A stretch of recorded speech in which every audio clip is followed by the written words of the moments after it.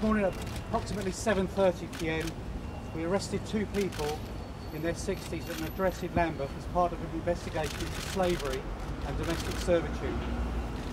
We were contacted in October by Freedom Charity after they had received a call from women stating that they were being held against their will at an address in London for more than 30 years.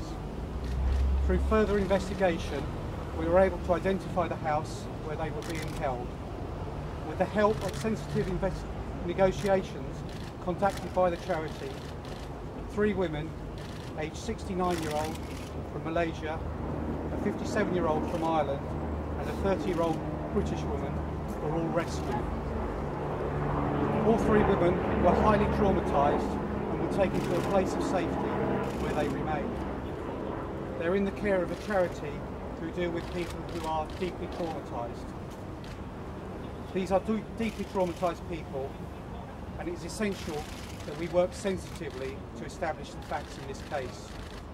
When we had established the facts, we conducted the arrests this morning. We've established that all three women were held in this situation for at least 30 years. They did have some controlled freedom. The Human Trafficking Unit of the Metropolitan Police deals with many cases of servitude and forced labour. We have seen some cases where people have been held for up to 10 years, but we have never seen anything of this magnitude before. Thank you.